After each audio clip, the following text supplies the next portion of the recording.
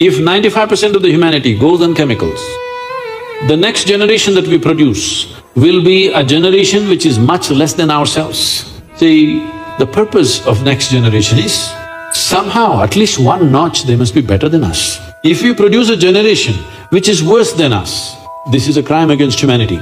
We have taken humanity backwards and once you do that, afterwards we don't know what the next one will do.